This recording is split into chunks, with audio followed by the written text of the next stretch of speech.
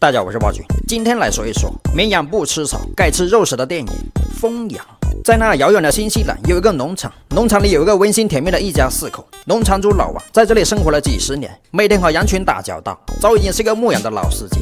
两个儿子中王和小王也都在成为老司机的路上。小王比较精灵活泼，深得老爸的牧羊技能，是一个注定要成为老爸那样的牧羊二代。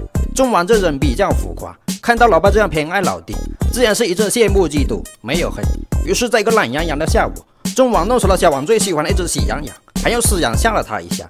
结果，小王患上了严重的恐羊症。很快，时间来到十五年之后，外出闯荡的小王回到了儿时的农场，老爸老妈也早就去了上帝那里。农场成了兄弟两人共同的财产。但小王本身就有恐羊症，对农场的兴趣自然也不会太大。而中王一直以来都在搞克隆人的实验研究。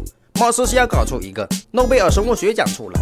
两个记者一直都在农场外面蹲点调查，打算搞个震惊世界的猛料。男子趁现场的人一个不注意，溜进农场，搞走了其中一个实验样品，发现里面装着的是干尸一样的小羊。在逃跑的过程中，瓶子意外摔烂，男子也不幸被小羊咬了一口。众王打算卖掉农场，在这里建个工业基地。小王虽然非常不舍，但也不得不离开这个充满回忆的地方。临走之前，还和农场的经理火星哥就地重游了一番。那只实验小羊溜到农场，咬伤了其中一只绵羊，而这只绵羊又刚好被小王和火星哥遇到，刚放进羊圈里，其中个犄角妹子杀了出来，以为两人是和中王一伙的，两人二脸懵逼，不知道妹子在说什么。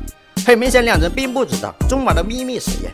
随后，三人在一间冒烟的房子里发现了一只绵羊，这只绵羊像是疯狗一样，见人就咬。火星哥一枪送他去了极乐世界。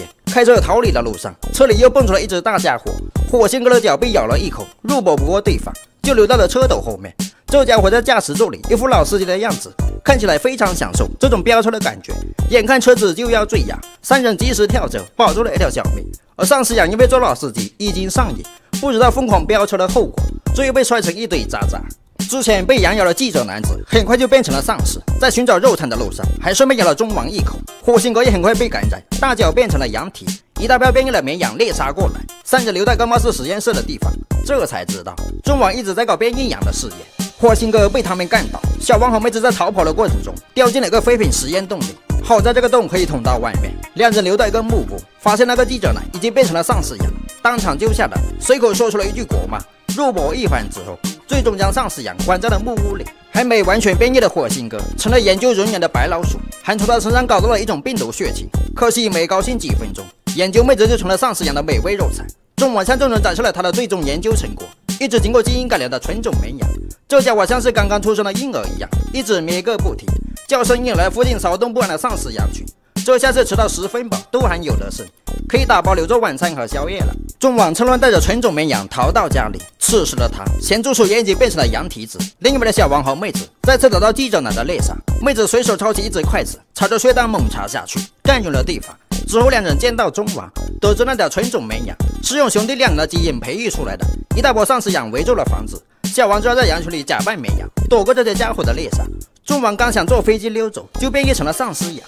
双方大战了没有三百个回合，最后小王利用飞机的螺旋桨，将老哥绞成了一堆羊肉片。福大命大的火星哥也杀了过来，联手将丧尸羊群炸成烤全羊。